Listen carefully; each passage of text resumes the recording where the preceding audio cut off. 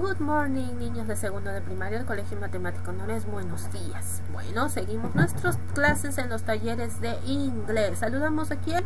A Pepe. Hello, Pepe. Muy bien. La clase anterior, ¿te acuerdas que hicimos de los colores, cierto? Los colores en inglés, ¿ok? Entonces recordamos los colores de Sally, ¿ok? Vamos a recordar, a ver, ¿qué colores son los de Sally? Green, red, yellow, orange, blue. Ok, muy bien, no te olvides en inglés. Ah, Sally habla en inglés, así que tenemos que decirle en inglés. El día de hoy vamos a hacer los colores favoritos de quién? De su hermano, de Pepe. A ver, ¿cuáles son los colores favoritos de Pepe? Son mucho más que los de Sally, ¿ah? Así que vamos a comenzar con los colores favoritos de Pepe. A ver, ¿cuáles son? My favorite colors, dice Pepe. A ver, ¿qué color es? Morado, rosado, blanco. A ver qué color será este. Color mostaza, ¿no? El color mostaza que decimos o beige. Este marrón, negro y plomo o gris. ¿Ok? Entonces el día de hoy vamos a hacer más colores, ¿verdad? Los colores favoritos de quién? De Pepe. Entonces ponemos de título nuestro cuaderno.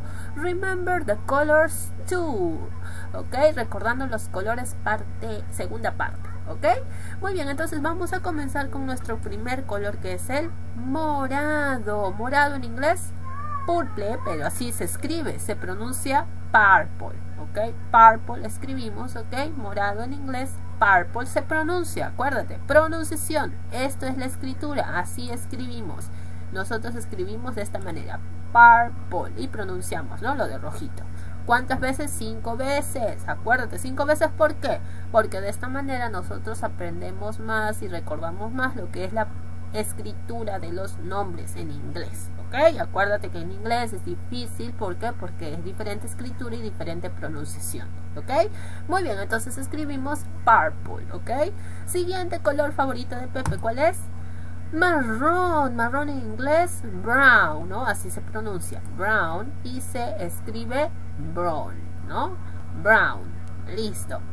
Siguiente color, negro, que el negro es black, ¿ok? Black, ¿ok? Pronunciación es igual que la escritura, así que es black, ¿ok? ¿Cuántas veces voy a escribir? Cinco veces, acuérdate, ¿ah? cinco veces cada uno, ¿ok? Siguiente color favorito de Pepe es blanco. El blanco es white. ¿Ahorita? Ahí está, white. Blanco, white, pronunciación y escritura white. ¿Ok? Muy bien, entonces blanco, white. Rosado en inglés es pink. ¿Ok? Ahí está, pink. Igual pronunciación, igual de escritura. Pink. ¿Ok? ¿Cuántas veces vamos a escribir? Cinco veces escribimos. ¿Ok? White, pink. Listo.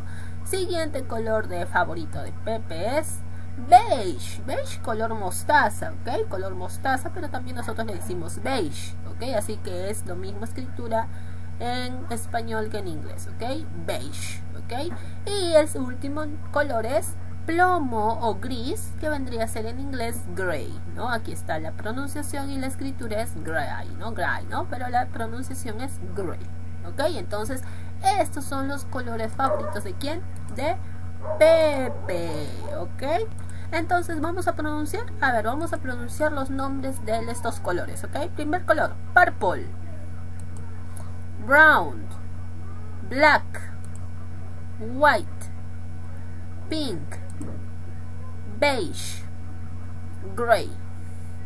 Ok, muy bien chicos, entonces no se olviden practicar estos colores y les estoy mandando una hojita para que pinten con los colores, ¿no? Con todos los colores, colores de Sally, colores de Pepe, ahora todo junto, ¿ok? Y no te olvides practicar y avanzar esto en tu cuaderno y enviármelo con mi rosario, ¿ok? Muy bien chicos, nos vemos en la siguiente clase de inglés. Despídanse de Pepe. Goodbye.